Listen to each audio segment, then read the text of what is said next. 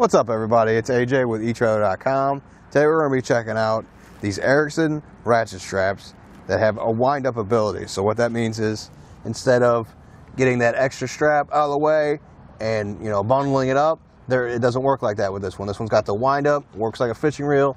You just turn this and that runs the strap in there. That way you don't have any loose strap hanging out behind you when you're driving and you don't have to tie anything down. Let's check it out. I want to show you the wheel it actually has a pop out as a lever. That way you can turn it and bring the strap in. But it actually works way better just using the knob, I think.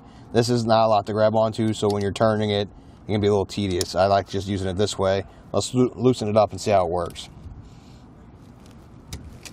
Release the tension. Now it can pull through, the strap can go through freely. I can pull way more out of it. Show you.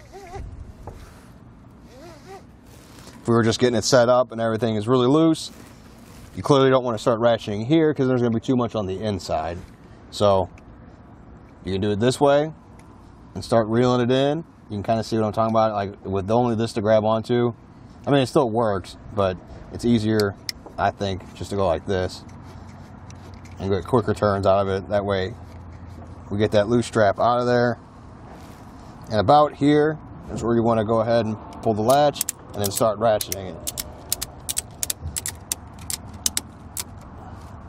Now it's back nice and tight, and that was pretty easy to do. I like that there's not a lot of extra strap because the other ratchet straps you've seen, extra strap just kind of hangs around here.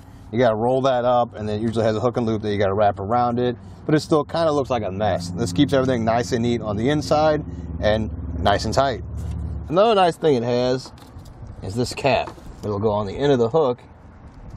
What that does is keep this from popping out when it's not tightened down.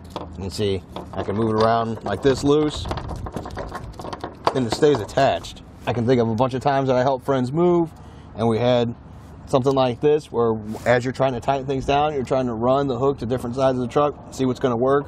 You can be pulling out from the other side, so it's doing this, and then it just pops out, and that can be really annoying when you have loose straps. Maybe more works up and down like this. If it won't grab because it's not tight, you have to get it nice and tight.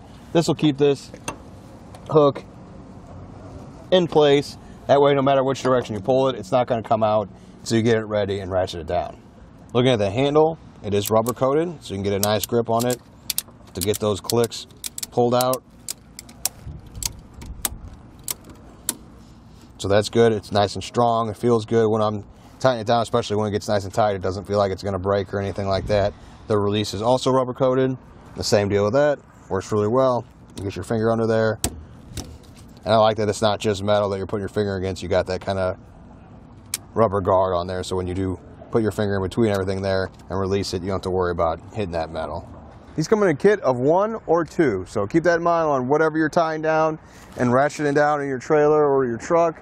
You know, we have two here on the back of the ATV.